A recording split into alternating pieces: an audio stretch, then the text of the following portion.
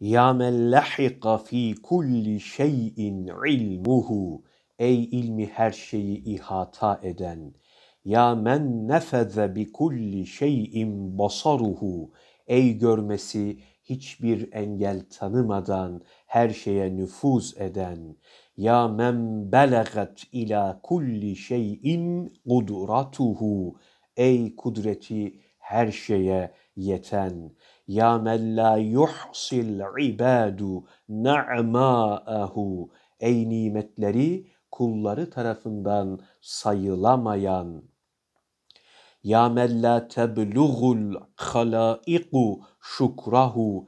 Ey mahlukatının kendisine şükretmeye güç yetiremediği. Ya men la tudrikul efhamu celalehu.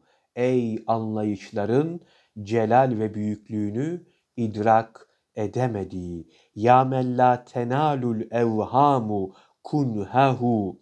Ey akıl, hayal ve vehimlerin hakikat ve mahiyetini bilemediği.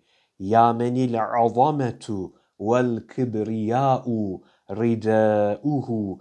Ey azamet ve kibriya örtüsü olan ya menil heybetü ve sultanu behauhu. Ey heybet ve saltanatı zatının güzelliği olan ya men teazzeze bil izzi bekauhu ey bekası izzetle izzetlenen Rabbim Subhaneke ya la ilahe illa entel eman. El eman. Ecirna minen nar. Sübhansın ya Rab. Senden başka yoktur ilah. Eman emniyet güvence. Diliyoruz senden. Koru kurtar bizi cehennemden